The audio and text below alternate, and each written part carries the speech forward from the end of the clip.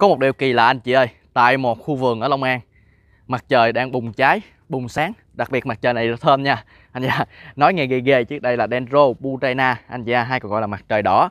Một dòng Dendro phát sáng nha anh chị à, hoa cực kỳ thơm. Mời anh chị cùng ngắm hoa thôi.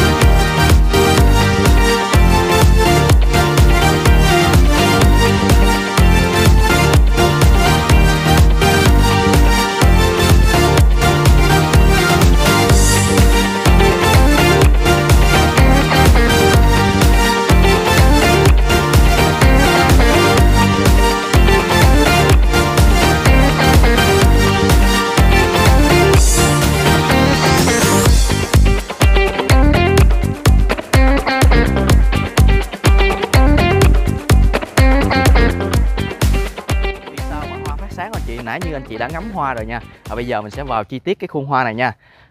Đầu tiên cô chú anh chị thấy á, là hoa của nó là hoa màu đỏ hồng anh chị và bên trong á, là sẽ màu trắng loan dần ra là màu vàng. Đó, nó rất như kiểu đang phát sáng và mức độ cho hoa cực kỳ khủng nha anh chị à.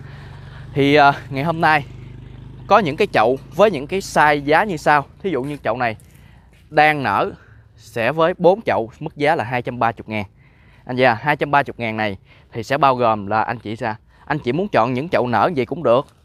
Hoặc là anh chị có thể là chọn thân thân thủ đẹp, không cần hoa. Đây, một chậu gì cũng được. Hoặc là anh chị đang muốn nhú vòi ngắn, nhỏ gì gì thôi, như thế này chẳng hạn.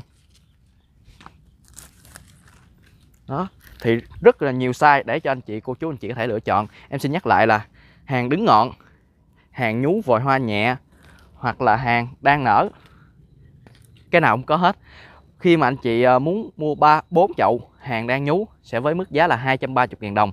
Bên em sẽ bao ship nhanh trên toàn quốc cho anh chị, tặng kèm cho anh chị thêm một gói kích hoa. Anh chị à, đó, thì anh chị có thể để lại số điện thoại để lựa chọn những cái chậu lan vừa đẹp, vừa phát sáng, vừa thơm như thế này.